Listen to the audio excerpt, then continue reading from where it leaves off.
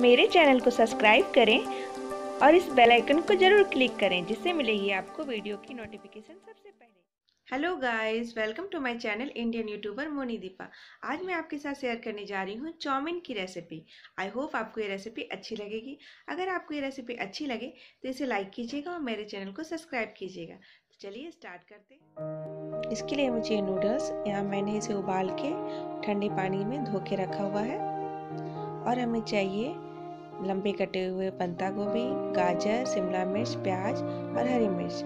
और हमें चाहिए थोड़ा सा तेल और soya sauce, chilli sauce, tomato sauce, स्वाद अनुसार नमक, काली मिर्च पाउडर और थोड़ा सा मैगी मसाला। और थोड़ा सा वेनेगर चाहिए होगा हमें। अब पैन में तेल गर्म होने के लिए देंगे।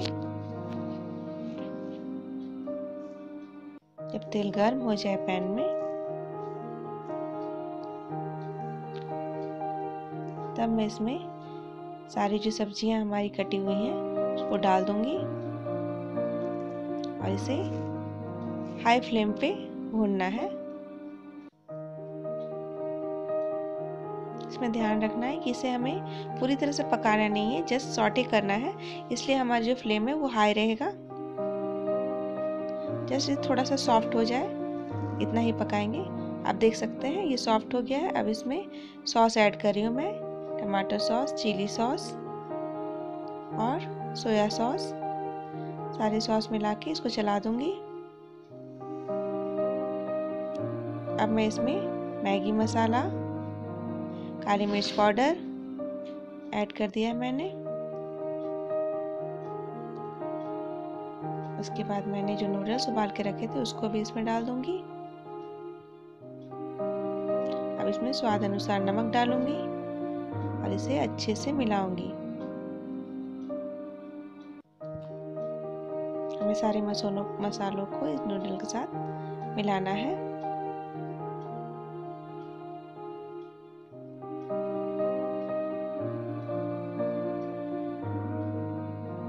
मिलाते हुए इसे भूनना है।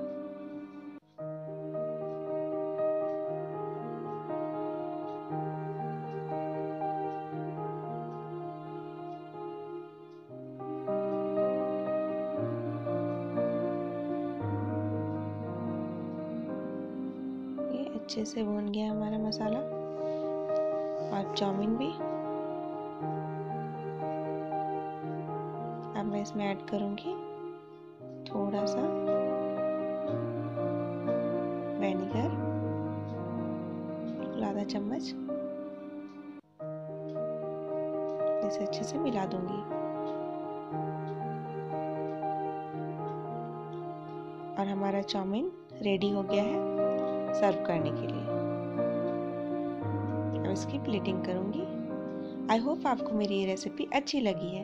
अगर मेरी ये रेसिपी अच्छी लगी है तो इस रेसिपी को लाइक कीजिएगा और मेरे चैनल को सब्सक्राइब कीजिएगा। तो फिर मैं मिलती हूँ आपसे नेक्स्ट वीडियो में। तब तक के लिए बाय